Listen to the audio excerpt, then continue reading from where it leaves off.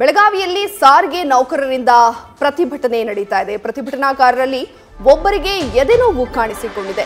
ಬೆಳಗಾವಿ ಜಿಲ್ಲಾ ಆಸ್ಪತ್ರೆಗೆ ದಾಖಲಿಸಿ ಚಂದ್ರುಗೆ ಚಿಕಿತ್ಸೆಯನ್ನ ಕೊಡಿಸಲಾಗ್ತಾ ಇದೆ. ಕಳೆದ ಆರು ದಿನಗಳ ಕಾಲ ಪ್ರತಿಭಟನೆಯಲ್ಲಿ ಅವರು ಭಾಗಿಯಾಗಿದ್ರು. ಕಳೆದ ಆರು ದಿನಗಳ ಪ್ರತಿಭಟನೆಯಲ್ಲಿ ಆರು ಜನರು ಅಸ್ವಸ್ಥರಾಗಿದ್ದಾರೆ. ಈ ನಡುವೆ ಧರಣಿ ನಿರತರಿಗೆ ಪೊಲೀಸರು ಧಮಕಿ ಹಾಕಿದ್ದಾರೆ ಅನ್ನೋ ಆರೋಪ ಕೂಡ ಇದೆ. ಸತ್ಯಾಗ್ರಹವನ್ನ ನಿಲ್ಲಿಸದಿದ್ರೆ ಪ್ರಕರಣವನ್ನ ದಾಖಲಿಸ್ತೀವಿ ಅಂತ ಧರಣಿ ನಿರತರಿಗೆ ಪೊಲೀಸರು ಧಮಕಿ ಹಾಕಿದ್ದಾರೆ ಎನ್ನಲಾಗ್ತಾ ಇದೆ. ಧರಣಿಯನ್ನ ನಿಲ್ಲಿಸಿ ಜಾಗ ಖಾಲಿ ಮಾಡಿ ಅಂತ ಬೆದರಿಕೆ ಹಾಕಿದ್ದಾರೆ. ಮೂವತ್ತು ಜನರನ್ನ ಸ್ಥಳದಿಂದ ಪೊಲೀಸರು ಹೊರ ಹಾಕಿದ್ದಾರೆ ರಸ್ತೆಯಲ್ಲೇ ಕುಳಿತು ಮಹಿಳಾ ಸಿಬ್ಬಂದಿ ಕಣ್ಣೀರು ಹಾಕಿದ್ದಾರೆ. ಚಂದ್ರು ಅನ್ನೋ ಧರಣಿ ನಿರತ ಅಸ್ವಸ್ಥರಾಗಿದ್ದು ಅವರಿಗೆ ಎದೆನೋವು ಕಾಣಿಸಿಕೊಂಡಿದೆ. ಅವರನ್ನ ತಕ್ಷಣ ಆಸ್ಪತ್ರೆಗೆ ದಾಖಲು ಮಾಡಲಾಗಿದೆ.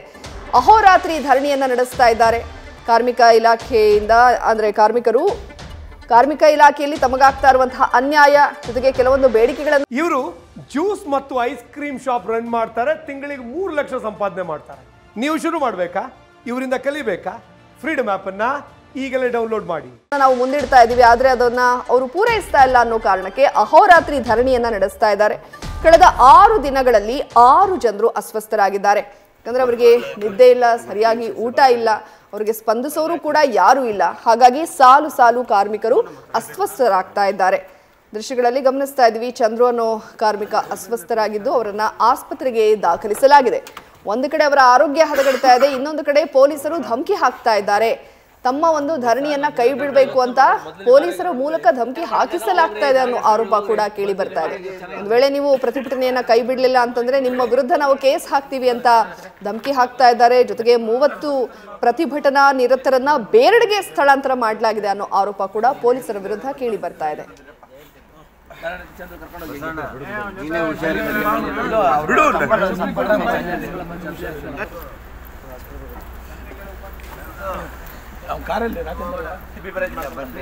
ತಲೆಗೊಂದು ಮಾತಾಡಿ ನಿರ್ಧಾರ ತಗೋಬೇಡಿ. ಇಲ್ಲ ಬಿಡಿ ಆಯ್ತು. ಅರ್ಜೆಂಟ್ ಮಾಡಬೇಡ ಸುಮ್ಮನೆ ನಿಮಿಷ ಅಲ್ಲ ಏನಣ್ಣ ನೀನ್ ನಿನ್ಗಿಂತ ಜಾಸ್ತಿನ ಇದೆಯಲ್ಲ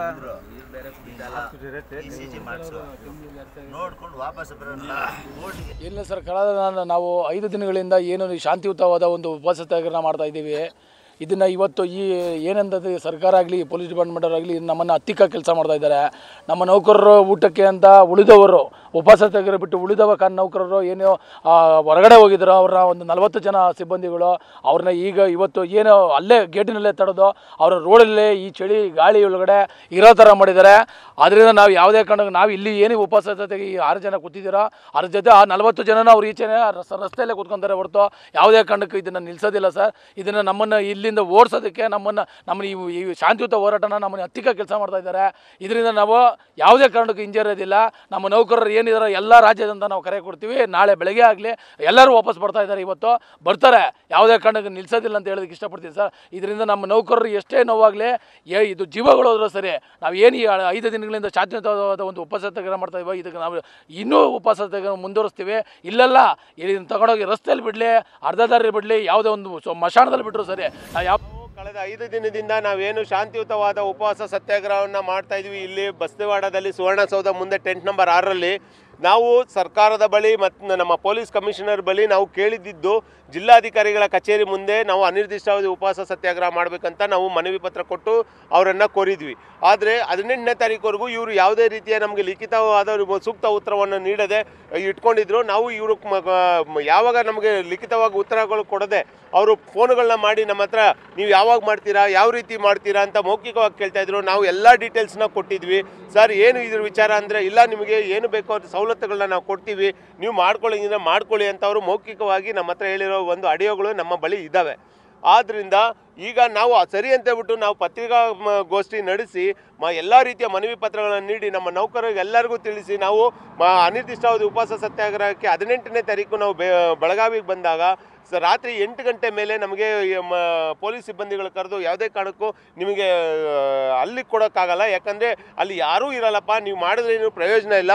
ನೀವು ಒಂದು ಕೆಲಸ ಮಾಡಿ ನಿಮ್ಗೊಂದು ಟೆಂಟ್ ಕೊಡ್ತೀವಿ. ಆ ಟೆಂಟಲ್ಲಿ ನೀವು ಮಾಡ್ಕೊಳ್ಳಿ ಅಂತ ನಮಗೆ ಒಂದು ಒಂದು ಟೆಂಟ್ನ ಕೊಟ್ಟರು ಆ ಸಮಯದಲ್ಲಿ ನಮ್ಮ ಏನು ಅಲ್ಲಿ ಒಂದು ಫಾರ್ಮ್ಯಾಟನ್ನು ಕೊಟ್ಟಿದ್ರು.